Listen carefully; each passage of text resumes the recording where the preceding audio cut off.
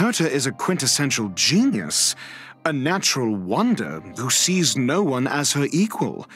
I have no doubt she is talented, but I doubt whether her talent is always helpful to others.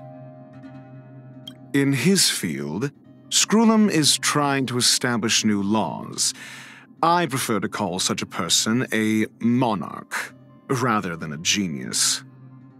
How many people have been fooled by her claim to fame as a hermetic genius? It seems more to me that she wants to explore much more than just life. Just wait and see. The Genius Society member with all the real ambition is her.